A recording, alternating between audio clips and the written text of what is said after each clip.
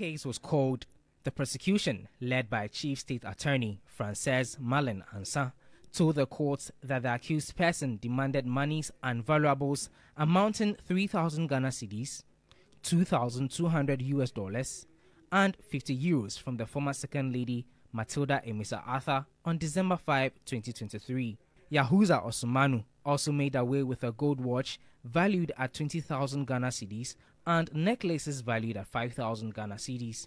He additionally assaulted the former second lady by strangling and hitting her head repeatedly on the ground while demanding more valuable items. Madame Amissah Arthur lost consciousness momentarily, and when she regained consciousness, the accused person had left with the items. Four others were also robbed by the same businessman who made away with various cash sums. When the charges were read to Yahuza, he pleaded not guilty to all of them. Justice Lydia Osei Marfo remanded the accused person into prison custody and ordered prosecution to file documents to be used as evidence before May 21. The case has since been adjourned to May 2, 2024. Lodi Rasari, TV3 News, Accra.